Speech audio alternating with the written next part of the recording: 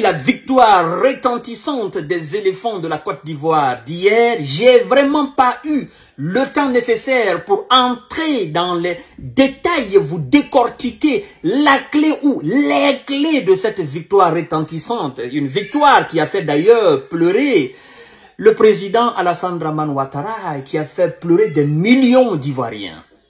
D'abord, je commence par le classement du coach Emers Faye.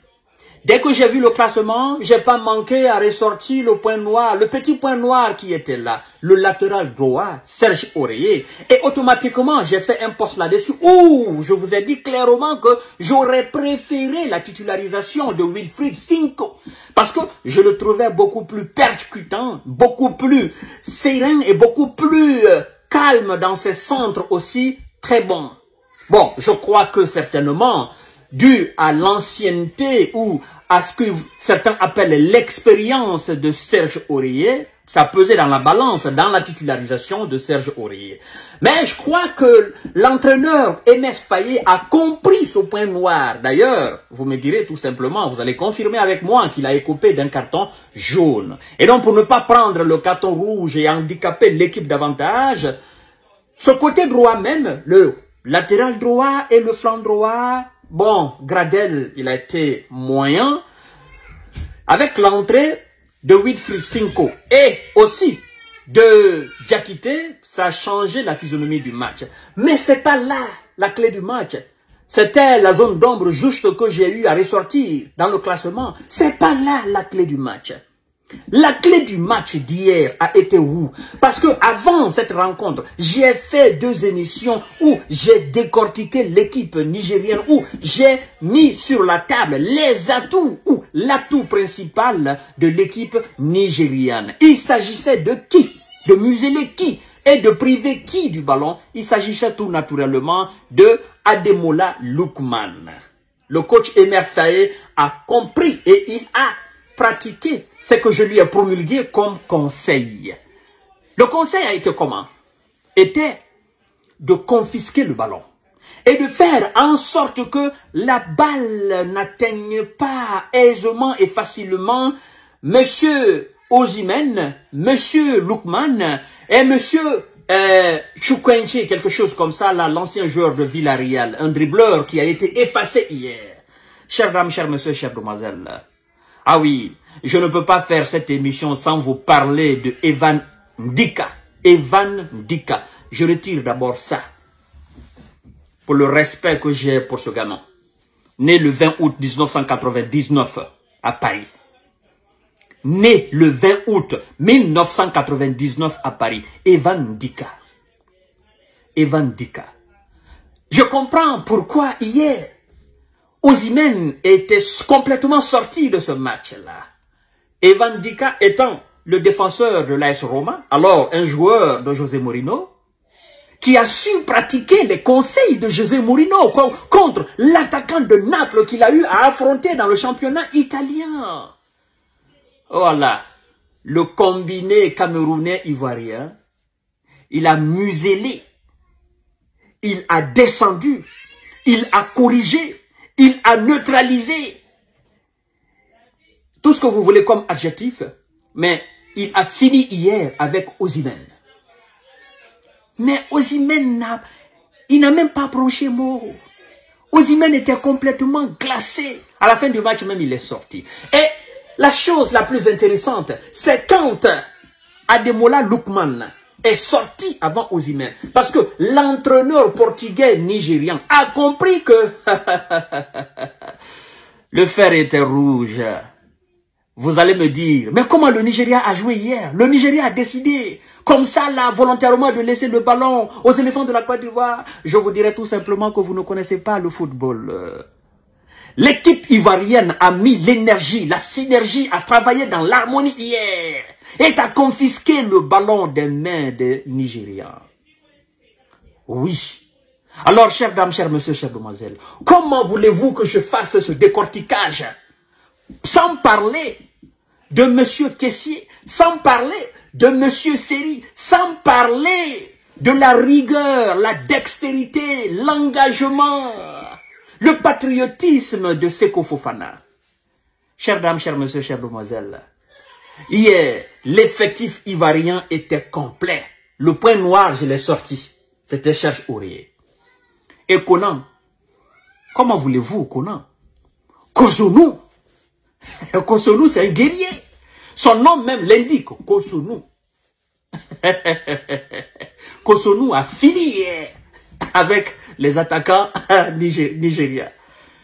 Mais laissez-moi vous dire que je m'incline encore davantage devant, devant la vision de Val, devant l'intelligence de jeu, devant la grandeur de celui qui a été hier l'homme du match, de celui qui a livré les deux passes décisives, le ballon qu'il a déposé sur la tête de Monsieur Caissier.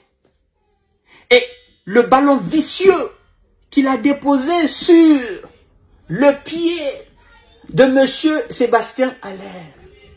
Il s'agit de qui Dinka. Ce gamin m'a bluffé hier. Ce gamin, il a acheté hier tous ceux qui ont regardé le match de la Côte d'Ivoire. Il fallait que la Côte d'Ivoire gagne hier. Parce que tout était réuni au fait. Ils ont fini avec l'équipe nigériane. Le Nigeria n'a pas pu jouer. Le Nigeria a essayé, mais le Nigeria n'a pas pu. Pourquoi le Nigeria n'a pas pu? Le Nigeria a rapidement, a vite compris que les ailiers ivoiriens, d'accord? Dinkra? Et en plus Max Gradel étaient des gars qui étaient rapides. Balle au pied, ils étaient très bons. Surtout, surtout, surtout, les deux passeurs décisifs. Surtout le passeur décisif de ces deux buts. Ah, il a fini hier avec le latéral droit nigérien. Il a fini. Le gars ne pouvait pas monter. Vous avez vu dans le match. Victor Osimhen, il était énervé. Il voulait que les joueurs, ses collègues, c'est-à-dire ses amis viennent et montent. Mais non, il pouvait pas. Parce que le poison était là, Ninkra. Le poison, le gamin, il était là. Rapide balle au pied, dribble, vision de jeu, les centres. Mais non, il pouvait pas. Donc, dire que le Nigeria a décidé de laisser le ballon volontairement à l'équipe ivoirienne, c'est mal connaître le football. Les Ivoiriens ont imposé un style de jeu sur le Nigeria. Et les Nigériens n'ont pas su répondre. Oui, ils n'ont pas su répondre à l'intensité du match. Dites-moi hier, quel c'est-à-dire, quelle action réelle d'attaque que le Nigeria a menée, à part le but sur le corner. C'est parce que le Nigeria a été neutralisé, tant sur le plan défensif ivoirien que sur le plan du milieu, mais aussi le plan d'attaque. Chères dames, chers messieurs, chères demoiselles, cette victoire, la Côte d'Ivoire l'a méritée humblement. C'est comme si Dieu avait décidé de mettre les Ivoiriens à l'épreuve chaque fois.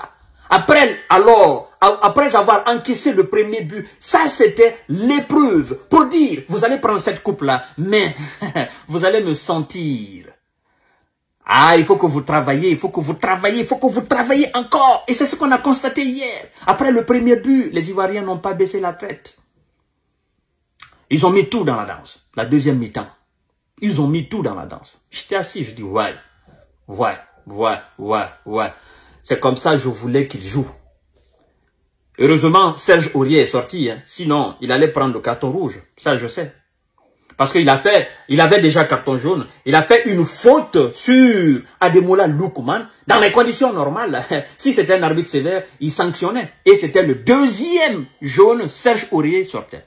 Je crois que Enes Faye, après cette action, il a compris, il a dit non, il faut que je sors le gars là. Et alors, Mesdames et messieurs, dire que le Nigeria a décidé de laisser le ballon, c'est faux. La Côte d'Ivoire, du début jusqu'à la fin du match, a dominé le Nigeria. Oui. Et maintenant, à la fin du match, après avoir encaissé le deuxième but, le Nigeria veut sortir. Mais c'est trop tard. Ça se passe pas comme ça. Vous avez marqué un but. Soit vous décidez de sortir et marquer le deuxième but, et là, vous tuez complètement le moral des Ivoiriens, ou bien vous faites jeu, égal, vous, vous refusez. Ils ne pouvaient pas aussi. L'intensité, ils n'ont pas pu. Alors, chapeau à l'équipe ivoirienne. Chapeau à l'équipe ivoirienne. c'est-à-dire de la défense jusqu'à l'attaque, à part le point noir hier, de la, de la défense jusqu'à l'attaque, toute l'équipe a donné. Oui, je ne peux pas dire euh, celui-là n'a pas, à part le point noir là. Mais si je dois ajouter un accent très particulier sur un joueur, ou sur deux joueurs, est-ce que oui, un joueur même non. Je dirais trois joueurs, un accent très particulier sur trois joueurs. non, quatre même. Tellement que je suis confus. Le premier de ces joueurs, c'est lui qui peut, peut porter, n'est-ce pas? La couronne, le roi, c'est Ndinkra. Après lui, il faut parler de la grandeur de Ndinka, le défenseur romain. Il faut parler aussi de l'engagement, de la dextérité, du courage et de la vision de jeu de Kosonou, mais aussi Conan, qui a fait un travail remarquable. Et au milieu du terrain, sincèrement, il y avait... Kessier hier, il, a fait un match de grand. Et Série, non. Sincèrement, on ne peut que remercier et féliciter l'équipe ivoirienne. Sincèrement, sincèrement, ils ont bien joué hier. Maintenant, je crois que euh, dans les années à venir, bon, à mon avis, je pense aussi que c'est la dernière canne de Max Alain Gradel. Hein. Il y a aussi des joueurs, je crois que c'est leur dernière canne ça. Je crois bien, je crois bien. Et il faut dire aussi que la Côte d'Ivoire a des joueurs binationaux à l'étranger, en France, en Angleterre. Euh, euh, vous imaginez si euh, Wilfried Zaha était là, hein, ou si ce dernier vient ajouter en Dinkra, et il y a encore des joueurs ivoiriens qui sont euh, dans les championnats, qui ont envie de venir, je crois que ça sera l'un des défis les plus, l'un des défis majeurs de Emer Faye, lui qui est né en France et qui connaît pertinemment euh, aussi euh, le championnat français, qui connaît le championnat anglais qui sait comment il faut rapatrier ces binationaux. Voilà, je pense que ça sera un très bon travail. Et euh, je crois aussi que DJ Drogba va se mêler dans la danse pour essayer de gonfler les rangs de l'équipe ivoirienne afin de prendre les meilleurs. Sincèrement, euh, la Cannes 2025, ça risque d'être une très belle Cannes aussi parce que il y a des équipes, les équipes sont en train de rehausser leur niveau. Et bon, je vais pas abuser de votre temps, mais j'avais quand même besoin de parler de ce décortiquage, hein, de faire ce décortiquage et de vous parler réellement euh, de ce que j'ai constaté hier.